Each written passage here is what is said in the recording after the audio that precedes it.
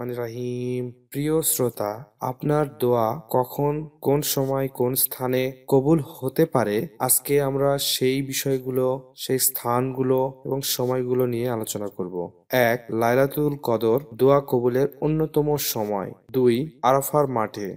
তিন, সাফা মারোয়া পাহাড়ের উপর। চার, বাইতুল্লাহ বা কাবা ঘরকে দেখে দোয়া করা। পাঁচ, সিয়াম অবস্থায়। ছয়, জুমার দিনে। সাত, হজ পালনকালে পাথর নিক্ষেপের পর। আট, রাত্রে। নয়, সালাতের শেষে।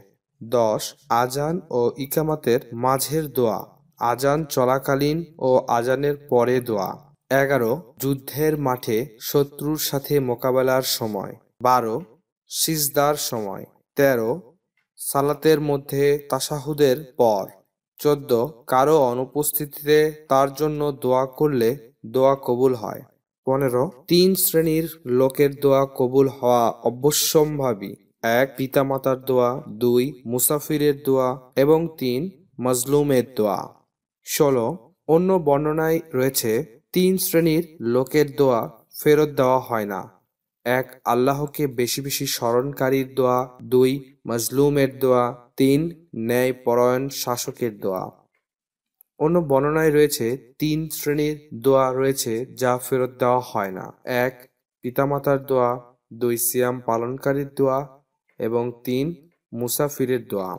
পবিত্র কুরআন ও সহি হাদিসে দোয়া করা ও কবুলের বিভিন্ন সময় স্থান পরিদৃষ্ট হয়।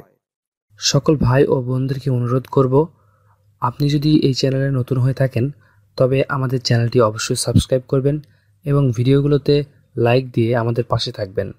আর আপনার কাছের মানুষদেরকে ভিডিওগুলো দেখাতে, ভিডিওগুলো শেয়ার করতে পারেন এবং আপনার মূল্যবান মতামত থাকলে আমাদেরকে কমেন্ট করে জানাবেন।